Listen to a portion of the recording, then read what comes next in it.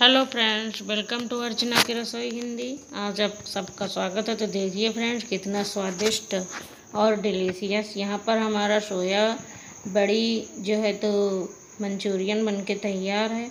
तो आइए friends rice fry Manchurian बनाने के लिए यहाँ पे हमने लिया टमाटर, सोया बड़ी, और यहाँ पे लिया हमने प्याज, लहसुन, अदरक। ये सोया बड़ी मैंने पानी में उबाला था। तो अच्छे से ये फूल गई हैं। नमक डाल के आधा टेबल स्पून लिए नमक, लाल मिर्च और धनिया, हल्दी, गरम मसाला पाउडर। तो आइए फ्रेंड्स, आलू को हम काट लेते हैं। यहाँ पे हमने गरम मसाले लिए हैं खड़े, जो कि दाल चीनी वगैरह, दाल यहाँ पे हमने चावल लिए सौ ग्राम, अच्छे से धुल लिए हैं।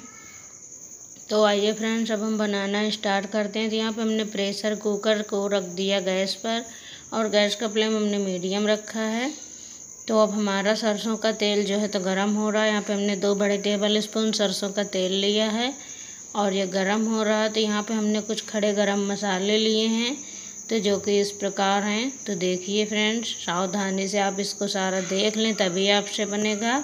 वीडियो को इसके बिल्कुल भी ना करें। तो यहाँ पे हमने लिया है तेज जवत्री, लौंग, जीरा और काली मिर्च, बड़ी इलायची, छोटी इलायची, लहसुन, अदरक, हरी मिर्च अब हम इनको सबको पकाएँगे तीन से चार मिनट, उसके बाद हम यहाँ पर पकाएँगे प्याज। तो ये देखिए फ्रेंड्स, मैंने अच्छी तरह से छील लिया था लहसुन को, फिर भी बीच में कहीं छिलका रहा होगा तो फट गया है तो आप भी लहसुन को सावधानी से छीलें अगर छिलका रहता है तो लहसुन फटने का डर रहता है। तो यहाँ पे हमने दो मिर्च साबुत ऐड कर दिए, जिनको हमने सिर्फ़ हल्का से चीरा लगाया था।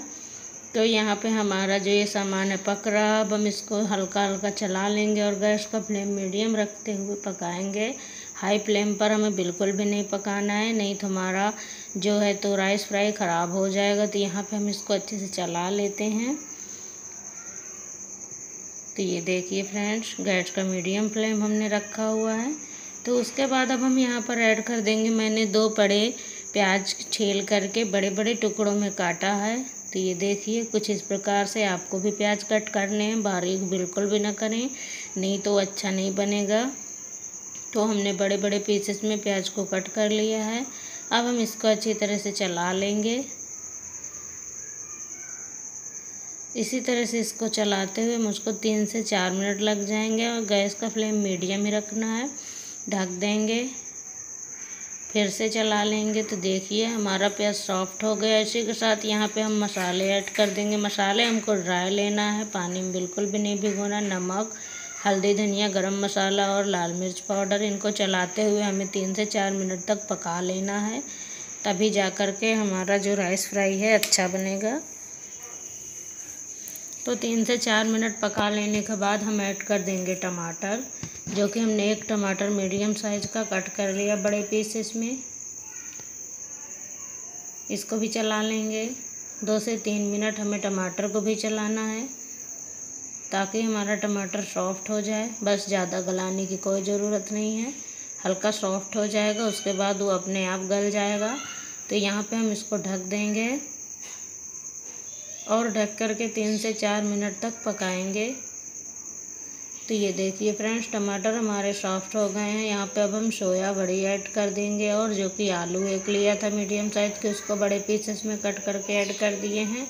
दो से तीन मिनट इसको भी हम चला लेंगे। और ग्रेवी का पानी मैंने उबलने के लिए बगल में रख दिया है।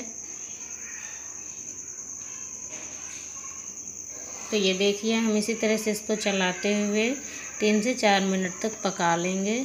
बस उसके बाद हम यहाँ पर ऐड कर देंगे चावल। चावल जो कि हमने धुल लिया है तो तीन मिनट पहले ही चावल को धुल लें आप। पाँच से दस मिनट पहले धुला रहेगा चावल तो खिला खिला रहेगा, नहीं तो चिपक जाएगा आपस में। तो इसी तरह से हमको इसको चला लेना है। चला लेने के बाद यहाँ पे जो हमने चावल रखे थे उनको ऐड कर देंगे। चावल ऐड करने के बाद हमको जस्ट ग्रेवी ऐड कर देना है। तो यहाँ पे जितना हो सके उतना कम ही ग्रेवी लें, ज़्यादा बिल्कुल भी ना लें। पानी यहाँ पे हमको सिर्फ़ एक कप लेना है। ढाई सौ एम के हिसाब से यहाँ पे बस, अब हमको पानी नहीं ऐड करना, बिल्कुल भी। अब यहाँ पर हम ढक्कन लगा करके दो सीटी आने तक पकाएँगे। उससे ज़्यादा हमें बिल्कुल भी नहीं पकाना है। नहीं तो हमारे चावल गल जाएँगे और आलू फूट जाएँगे, जो कि बिल्कुल भी अच्छा नहीं लगेगा। तो यहाँ पे हमें डिलीशियस राई फ्राई बनाने के लिए कुछ बातें को सावधानी रखनी होती है। तो ये देखिए फ्रेंड्स कितना स्वादिष्ट बन करके हमारा राइस फ्राई तैयार आइए सर्व करते हैं। तो देखिए फ्रेंड्स कितनी अच्छी है।